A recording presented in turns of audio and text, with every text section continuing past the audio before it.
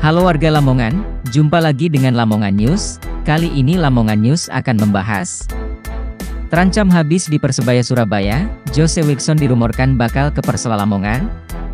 Sebelum kita lanjutin videonya jangan lupa subscribe, dan nyalakan loncengnya ya, agar kalian dapat notif berita seputar Persela. Zona Surabaya Raya Sempat dikabarkan aman di Persebaya, nasib Jose Wilson malah di ujung tanduk. Menariknya, bomber berpaspor Brasil ini malah dirumorkan dilirik Persela Lamongan. Persela Lamongan memang sudah memiliki striker, Ivan Carlos, yang sama-sama dari Brasil. Namun Ivan Carlos juga kurang memenuhi ekspektasi manajemen dan supporter. Dari 14 pertandingan bersama Persela di putaran pertama BRI Liga 1 2021 hingga 2022, Ivan Carlos baru mencetak 4 gol. Beda dengan Jose Wilson. Meski dianggap kurang produktif di Persebaya, Jose Wilson masih mencetak 6 gol. Hanya saja, 3 gol di antaranya dari penalti.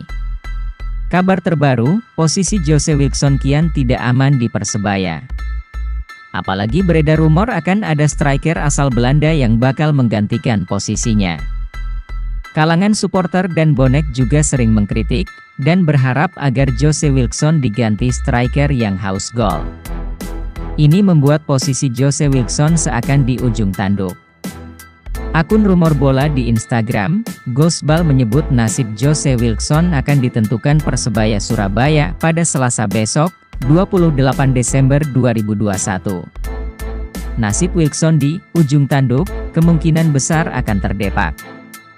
Keputusan final ditentukan hari Selasa besok, let's see, mari kita saksikan. Sebut akun Gosbal dikutip Zona Surabaya Raya.com, Senin 27 Desember 2021.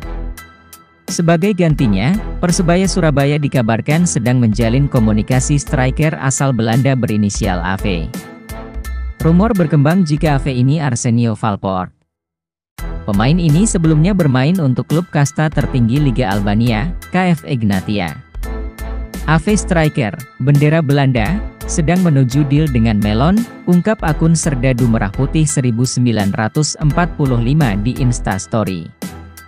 Belum tuntas soal masa depan Jose Wilson di Persebaya, rumor pun berlanjut. Pemain bernomor punggung 84 ini dikabarkan tengah diincar Persela Lamongan.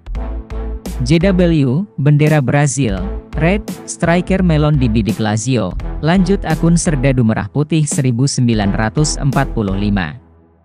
Ini tentu mengejutkan, mengingat sebelumnya Jose Wilson dianggap aman di Persebaya. Pelatih Haji Santoso juga menyebut pihaknya cukup puasa dengan performa empat pemain asingnya. Termasuk Jose Wilson. Namun fakta menunjukkan Jose Wilson masih kurang gacor, jika dibandingkan striker lain.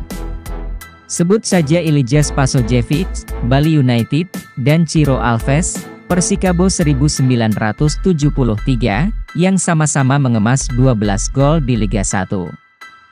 Jose Wilson juga masih kalah dengan Yosef Ezejari, Persik Kediri, yang mencatatkan 11 gol maupun Marco Simic, Persija, 10 gol.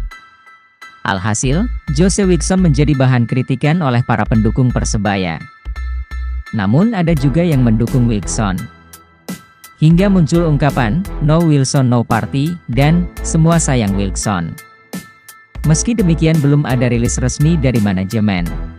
Sampai di sini dulu ya dulur El Amania, bantu subscribe, ya dulur, agar channel ini berkembang, dan jangan lupa berikan pendapat kalian di kolom komentar, Terima kasih telah menonton video kami. Sampai jumpa di video seputar Persela berikutnya.